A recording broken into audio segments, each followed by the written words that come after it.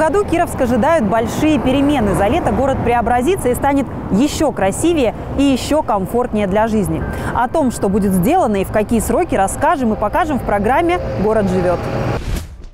Лето – пора ремонтов. Ежегодно в теплое время года на повестке дня обновление дорог.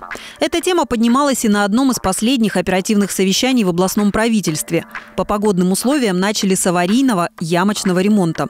В Заполярье им будет охвачено 58 тысяч квадратных метров дорожного покрытия.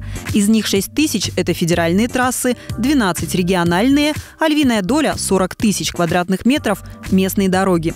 Темпы ямочного ремонта в ближайшее время возрастут. У региона для этого есть все возможности. С 13 мая на территории Мурманской области начали свою работу асфальтобетонные заводы. Мощности этих заводов позволяют закрыть всю потребность в горячем асфальте. В Кировске ямочный ремонт в активной стадии. Работы ведутся круглосуточно на протяжении всего сезона силами дорожного участка ЦМТО. Первостепенная задача – снять аварийную напряженность. Составлена дефектная ведомость с, э, с различными районами города, э, с конкретными участками дорог. Э, также в оперативном порядке при выявлении опасных участков эти, эти же аварийные участки устраняются, чтобы предотвратить дорожно-транспортные происшествия. Не останется без внимания и асфальтобетонное покрытие на тротуарах. А как только позволит погода, в Кировске начнутся капитальные ремонты. Работы проведут в рамках муниципальной программы развития транспортной инфраструктуры. Повреждения устранят более чем на трех километрах дорог. Это почти 10% от всего дорожного полотна, которое находится в ведомстве города. Покрытие обновят на Хибиногорской. Это участок от военкомата до пересечения с улицы Дзержинского и от магазина «7 дней» к администрации. На проспекте Ленина от 25 до 39 дома и на Апатитовом шоссе. От центра строительных материалов до Тирваса. На участках дорог, где проведут капитальный ремонт, уложат асфальт нового образца – щебеночно-мастичный. Он лучше выдерживает нагрузку и низкие температуры, соответственно, увеличивает срок службы дорожного полотна.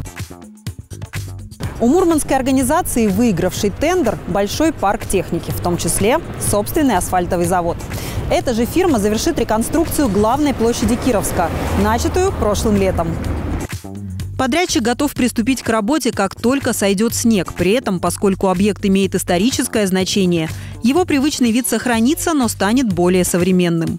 Объем работ большой – от обустройства пешеходных зон до реставрации фонтанов. Замена тротуарной плитки э, на виброплитку. Это организация э, газонов очень хороших с озеленением, с цветочным оформлением.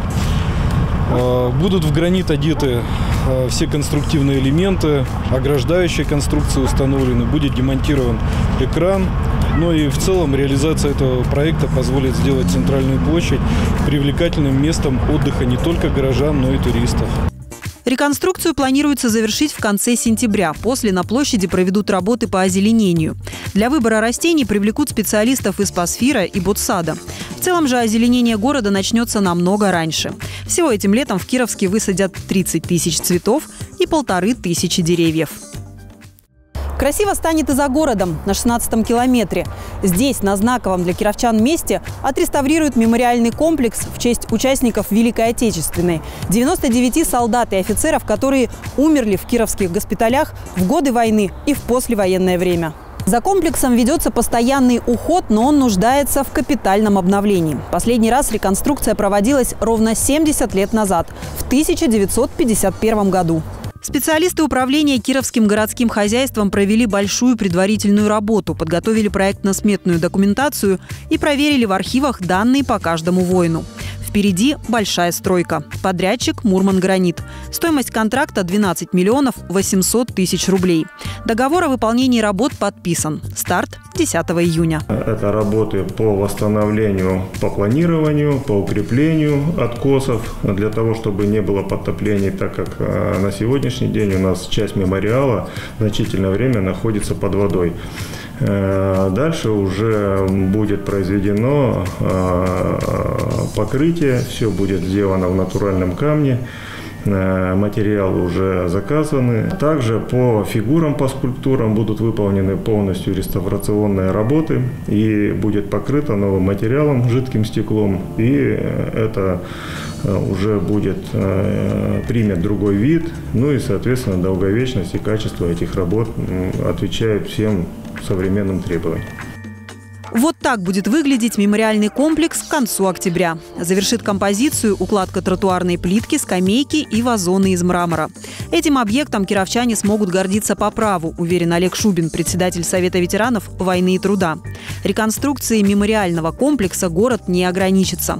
С помощью компании «Фосагро» в порядок приведут могилу героя Советского Союза Павла Ивановича Илюшка на 13-м километре. Памятник заказан, э, готовности пока нет еще. Я так думаю, что как только снег сойдет, э, компания придет, которая будет это все делать, и тогда мы увидим нормальное надгробие э, вместе с женой. Они захоронены на одном месте. Это очень важно и для кировчан, для молодежи, ветераны войны очень благодарны. Это не каждый муниципалитет может этим гордиться. Строительные организации на все виды ремонтных работ отбирались тщательно. И контроль за их выполнением будет строгим, заверяют местные власти.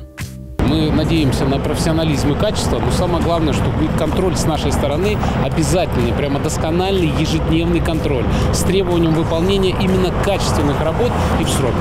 Мы тоже будем наблюдать за преображением Кировской и рассказывать об этом в летних выпусках программы «Город живет». Хороших нам с вами перемен и до встречи!